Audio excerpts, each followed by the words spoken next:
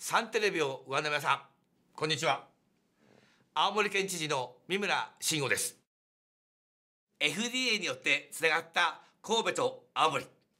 神戸空港から青森空港まで1時間40分。四季を通じて楽しめる青森の旅がとっても身近になりました。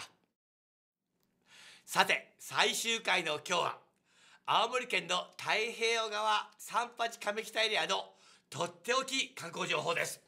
それでは今日も参りましょう。行こうか青森小池青森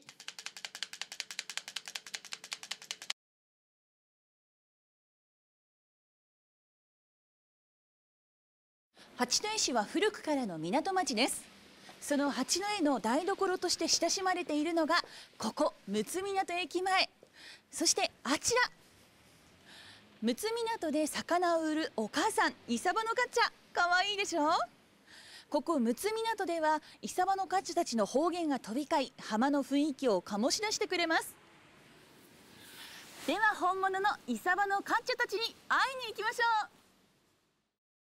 青森空港から車でおよそ2時間。八戸市は全国有数の水揚げを誇る港町。1953年の開設以来八戸市民に愛されてきた八戸市営魚菜小売市場。やはりここではイサバのカッチャと会話しながらの買い物が醍醐味ですよ。わ大きい。これもう一つ。はい食べるの食べたい。食べたいです。今食べるの買い方や方言がわからなくてもなんとかなります。たまにはおまけしてくれるかもしれませんよ。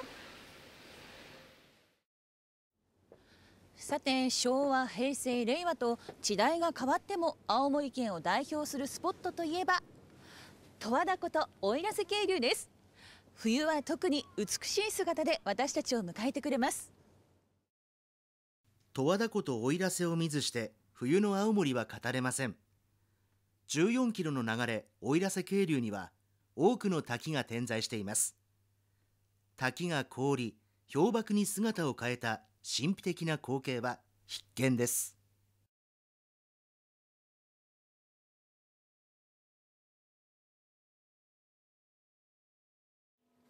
港町八戸では魚介類を使った名物丼がたくさんあります。その中でも超人気の極うま丼をご紹介します。こちら港食堂。いい佇まいでしょ？港食堂は新鮮な八戸の魚介類をリーズナブルな値段でいただける定食屋さん。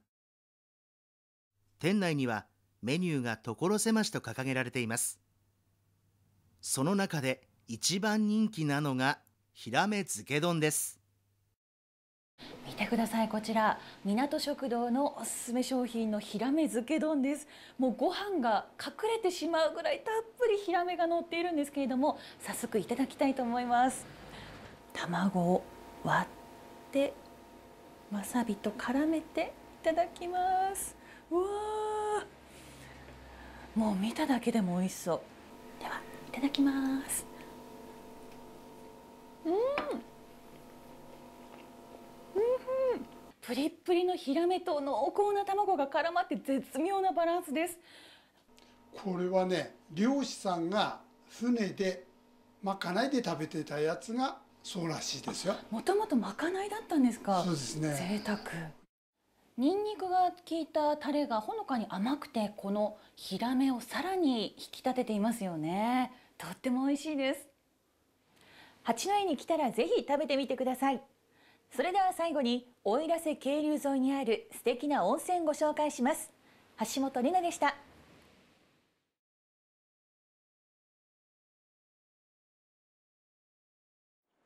そこは奥入瀬渓流沿いに立つ唯一のホテル。館内に入ると岡本太郎作の暖炉が優しく迎えてくれます。そして絶景に囲まれた湯。温かい温泉に浸かって見渡す限りの雪と氷の世界を堪能できます。いかがでしたか？四季を通じて楽しめる青森県。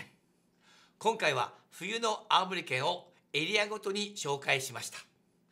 現在の状況が好転した折にはぜひ青森へお越しください。熱狂的阪神ファン青森県知事の三村慎吾でした。